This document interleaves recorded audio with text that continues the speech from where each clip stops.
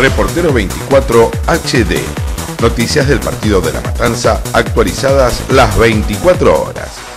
Estamos con Sergio Surano, que es el director de Asuntos Jurídicos y Legales del AFCA, acá en la localidad de San Justo. ¿Qué tal? Buenas noches. Buenas noches, un saludo para los televidentes. Bueno, cuéntenos eh, eh, por qué su presencia hoy aquí en el Café Literario Néstor Kirchner, aquí en San Justo. Bueno, contento, agradecido de la invitación de la gente del Café Literario en los cinco años de nuestra ley de medios, una ley que queremos que se cumpla, una ley que realmente lleva la pluralidad de voces y la democratización de la palabra. Bueno, muy contento en este cumpleaños de la ley y muy contento en esta reunión en el Café Literario de Kirchner. Bueno, uno de los temas específicos y el tema de actualidad, Grupo Clarín. Sí, es un tema más, no debiera ser el único tema porque la ley tiene muchos logros, además de esto, que es haber llevado la palabra a muchos lugares donde la palabra no estaba. Porque no es solamente los grandes grupos quienes tienen que llevar la palabra, hay, hay medios eh, locales, hay medios propios, hay cooperativas, llevamos, este, otorgamos autorizaciones para licencias en pueblos originarios, otorgamos autorizaciones en escuelas, en universidades, en canales de baja potencia, televisiones de baja potencia, eh, perdón, radios de baja frecuencia para lugares donde son pequeñas, pequeños emprendimientos de la comunicación, pero que le dan a su pueblo, a su localidad, una voz propia. Entonces estamos muy contentos con todo eso. Y respecto al Grupo Clarín, que me preguntas específicamente, es uno de los 40 grupos que presentó su plan de adecuación.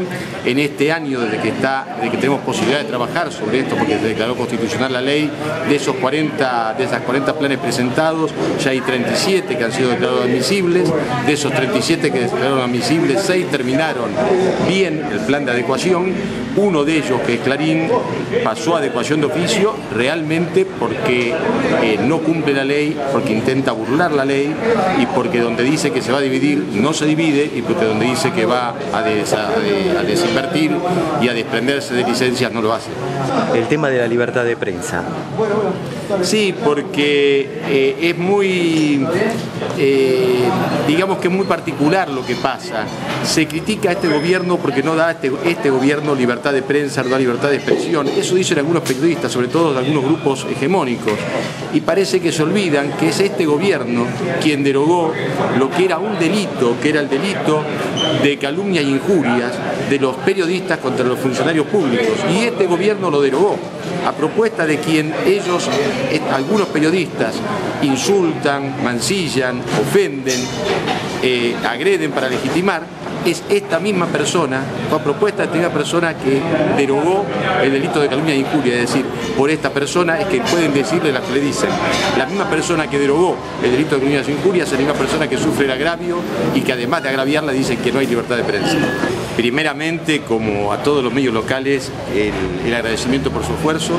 Sabemos eh, el esfuerzo que hacen día a día, sabemos el compromiso con la comunicación y esperamos que puedan seguir trabajando en libertad, como siempre lo hacen, creciendo, eh, dejando escuchar su voz y que haya en cada localidad diversas voces de esos mismos pueblos que puedan ser una alternativa a las voces hegemónicas de los grandes grupos.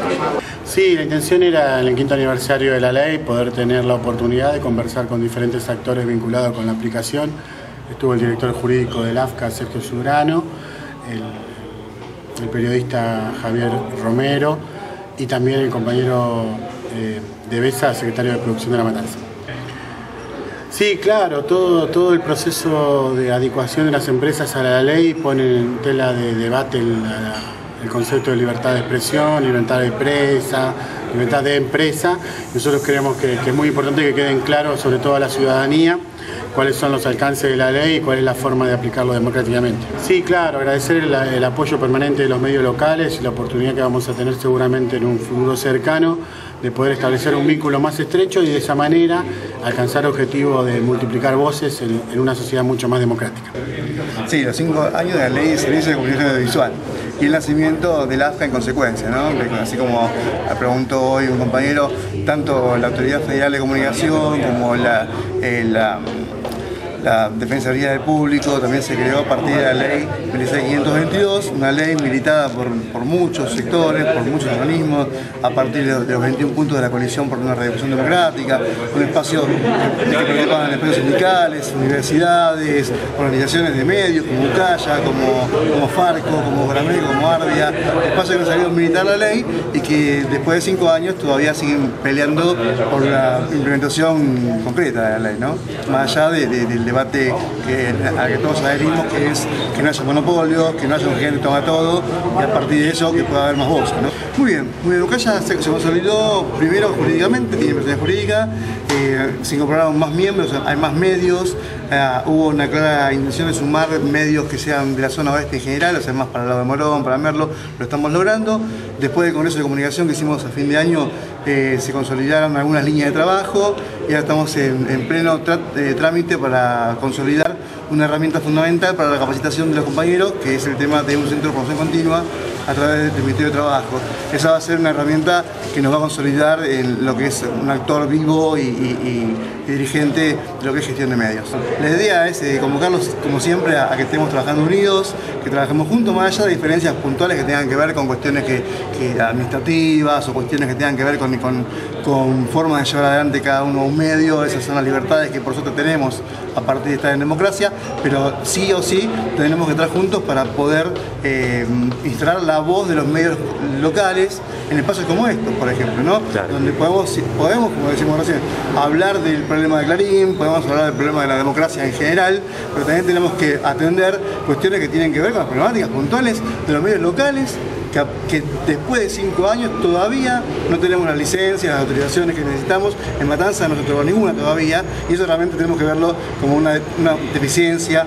Después de cinco años tenemos que poner un acento en eso para ver que no pasen otros cinco años y que no tengamos todavía licencia. Licenciado Jorge de Besa, el AFCA eh, acaba de presentarse aquí en el Café Literario Néstor Kirchner. ¿Qué tal? Buenas noches, doctor. Buenas noches, gracias por estar presente y por cubrir este evento que para nosotros es muy importante en este aniversario de la puesta en marcha de la ley de servicio de comunicación audiovisual y bueno, creíamos que es importante dar este debate en este momento y bueno, hacerlo acá en La Matanza con los compañeros de AFCA nos parece también muy relevante. ¿Cómo ve a los medios locales de La Matanza?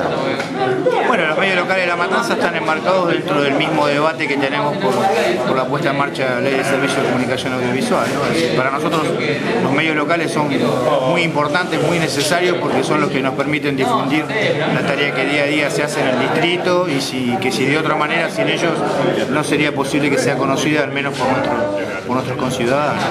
Bueno, yo te digo, para nosotros son parte esencial de, la divulgación de la tarea de gobierno y de, que nuestros los ciudadanos que son para quien está destinado la labor del gobierno conozcan lo que se va haciendo. Sabemos que La Matanza es el distrito más grande de la Argentina, es el más densamente poblado, nosotros tenemos casi el 5% de la población de la Argentina en una superficie muy muy baja, con lo cual eh, los episodios de información aparecen cotidianamente. Lamentablemente en muchos de los medios nacionales este, siempre aparecen las malas noticias y nunca aparecen o muy pocas veces aparecen las buenas noticias que cotidianamente tenemos.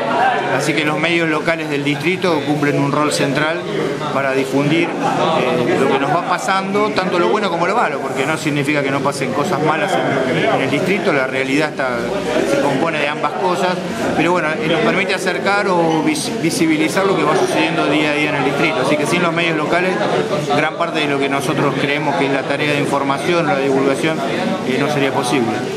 se habló de la libertad de prensa en el debate. Sí, por supuesto. Digamos, creo que la ley tiene un rol muy importante que es tratar de democratizar la palabra. Nosotros sabemos que por otra parte eh, es muy importante en el distrito la, puesta en marcha de la ley plenamente, no solamente porque abre el espacio de comunicación a, otros, a muchos medios, sino también porque dentro del mismo tiene un fondo que permite la, participación o la presentación de proyectos para generar eh, contenidos y espacios locales. Así que para nosotros, como yo dije, para el gobierno nacional la, cultura es también parte de una industria, así que nosotros creemos que la matanza tiene mucho para ofrecer y decir en ese sentido también.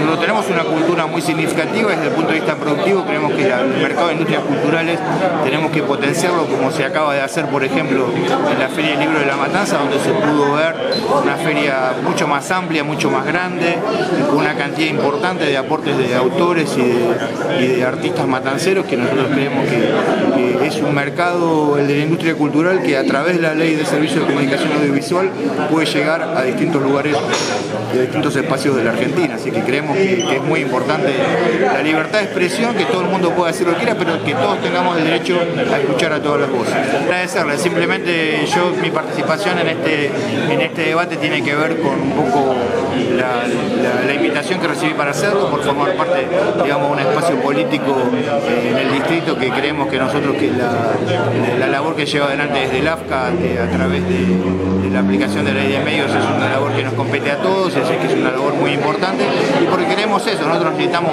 muchos más medios que permitan multiplicar las voces y mostrar lo que, por ejemplo, el distrito como La Matanza se hace día a día y que sin los medios, que tengan la posibilidad de existir medios locales no podría llegar a ser conocido por la gente de nuestro distrito. Muchas gracias, licenciado. No, gracias a vos por estar acompañando siempre a La Matanza en los distintos eventos. Gracias. Reportero 24 HD. Noticias del partido de La Matanza actualizadas las 24 horas. En nuestro diario encontrarás las noticias del distrito más grande del país ingresando a www.reportero24hd.com o suscríbete gratis a nuestra aplicación en Facebook www.facebook.com barra reportero24hd.